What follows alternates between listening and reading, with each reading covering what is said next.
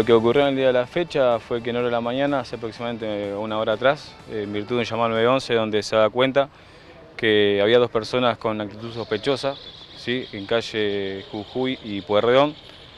Somos comisionados en virtud de este llamado, a posterior eh, nos vamos constituyendo y a medida que nos íbamos aproximando al lugar se nos da cuenta que los mismos ya habían cometido un hecho de robo sobre un vehículo estacionado. Cuando nosotros estábamos a pocos metros, escasos metros del lugar, ya divisamos la situación, damos la voz de alto, eh, hacen caso omiso y se da eh, una persecución por distintas arterias de la ciudad.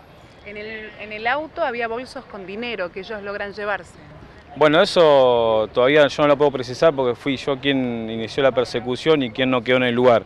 Eso va a ser determinado por la víctima en el momento de la, de la denuncia. ¿sí? ¿Cómo fue la persecución?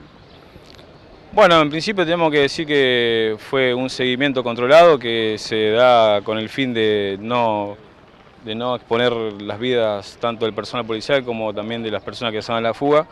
Eh, no quedamos a resguardo más que nada de la integridad física de, los efectivos y de ellos mismos. Se da por distintas arterias de la ciudad y también tenemos que destacar que en calle Brown y Veramújica, es donde arrojan el primer bolsa de dinero, bueno, eh, una gran cantidad de dinero que por lo que me veo obligado a quedarme en el lugar, continúa la persecución, mi refuerzo.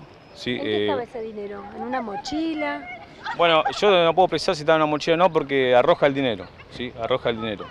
Su oficial Camusi y Pablo. Sí, sí, sí, sí, sí, sí. ¿Cuánto dinero era? A posterior eh, se constituye una funcionaria de la brigada motorizada, su oficial Narváez, contabiliza el dinero con dos testigos, y arroja 19.750 pesos. ¿No hubo disparos?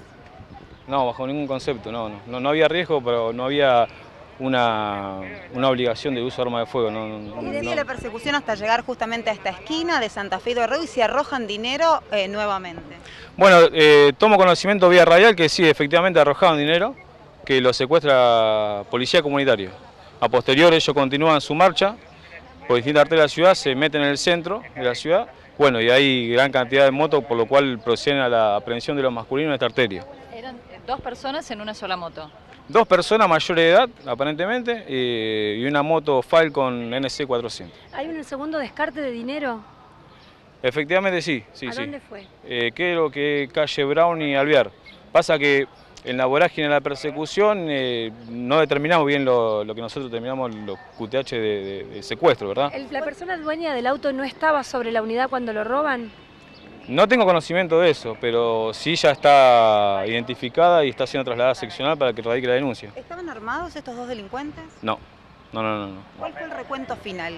El recuento final aparentemente es de aproximadamente, perdón, es de 20 mil y 30 mil pesos, ¿sí? en dos fracciones habrían estado siguiendo a la persona que llevaba semejante cantidad de dinero en el Tenemos hacia esa información, sí, porque nosotros trabajamos en calle y obramos en función de las comunicaciones que tenemos en 911. A metros de ese lugar donde comienza justamente cuando donde se realiza el escruche hay un banco. Presuntamente esta persona habría retirado ese dinero del banco. Será material de investigación, será material de investigación. Nosotros no podemos terminarlo, no podemos terminarlo. fueron los efectivos que participaron de la persecución? Vimos mucha policía motorizada. Bueno, sí, efectivamente hubo muchos funcionarios que fueron comisionados en virtud de la circunstancia y aproximadamente entre 18 motos, 19 motos, que era del tercio.